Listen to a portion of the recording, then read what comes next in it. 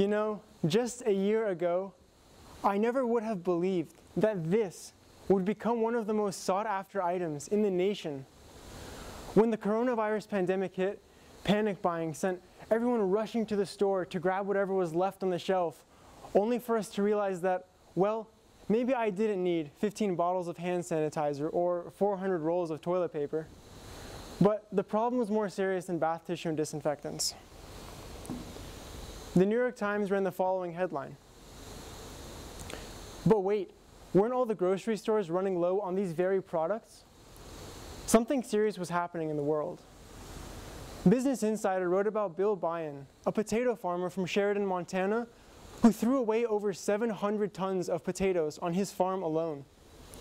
Bill had so many potatoes, he needed a bulldozer to get them all into the hole where he buried his crops for the year. But as the New York Times and many other news outlets reported, we saw the same thing happening with milk, eggs, and livestock. The United States government even hired federal veterinarians to help the process of depopulating millions of pigs, chicken, and cows. So I gave Mr. Byon a call to figure out what was happening. He explained that as soon as the schools and restaurants shut down, the processing plants that farmers like Mr. Byon relied on had to cut down on their own production, which in turn meant they needed less from the farmers. See, the problem was not that no one wanted milk or eggs or beef. In fact, these items were becoming harder and harder to find at supermarkets and stores. It's the supply chain, from the growers to the supermarket, that was disrupted.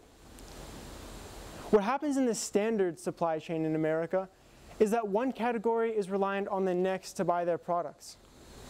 A potato farmer like Bill sells to a distribution company, who then ships the products over to a manufacturing plant, where the potatoes are made into french fries or mashed potatoes.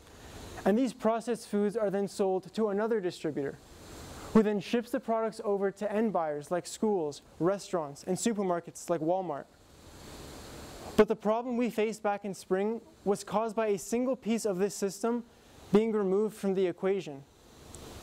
The consumers of the product, schools, restaurants, and businesses, were not buying. Since the product was not being consumed, distributors had no one to ship their products to. Manufacturers had no one to distribute for them. And in the case of food, farmers had no one to process their crops. So while all this was happening, Americans were losing their jobs and couldn't afford to feed their families. Businesses shut down, and upwards of 57 million Americans were left without a salary. So many turned to food banks. But soon enough, the food banks themselves ran out of food.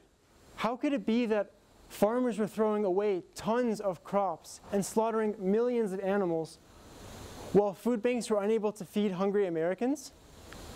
It was evident that we were dealing with a supply chain issue where farmers sold only to their distributors and not to end buyers like restaurants and schools. So I asked Mr. Byon, what is stopping you from selling your potatoes directly to the food banks? His response, where would I find enough food banks to sell all my potatoes to? And he raised a valid point. A local food bank in Sheridan, Montana couldn't possibly handle all 700 tons of his potatoes.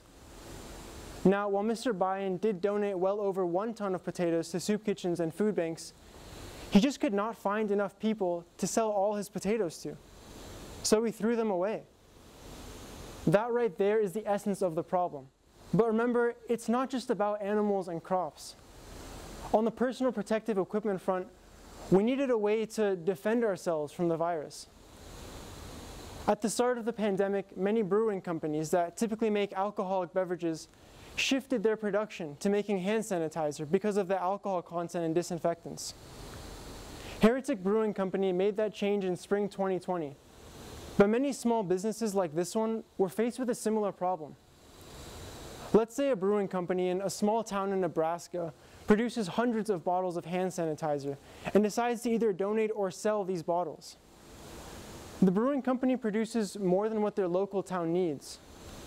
Now, while this small town in Nebraska may have experienced the luxury of having too much hand sanitizer to go around, Larger cities across the nation were faced with harsh shortages because their usual suppliers ran out of the product. Let's take the example of a hospital in San Francisco that needs sanitizer. They look to their distributor, who has no supplier to fulfill that hospital's request. In Nebraska, there was no buyer. In San Francisco, there was no supplier. The issue was getting the hand sanitizer from, from the brewing company in Nebraska to the hospital in San Francisco. America needed a way for a supplier with an excess of valuable items to be able to post their products on a public platform so that buyers can get in direct contact with them. So I had an idea for a website that would target this very problem. I called it Supply Chain Relief. It was a win-win for both the buyer and the supplier. Now, when you type in supplychainrelief.org into your web browser, you'll be taken to this forum. Here, buyers can either browse and scroll the site, or they can hit supplies at the top of the menu bar, where they can actually search for a particular item. Once they find the item they're looking for, they will hit the box that says contact information. And just like that, they will have the email address and or phone number of the company that supplies that product. It really is just that simple. I thought of this idea back in April 2020, but by November, we had grown weary of pandemic restrictions.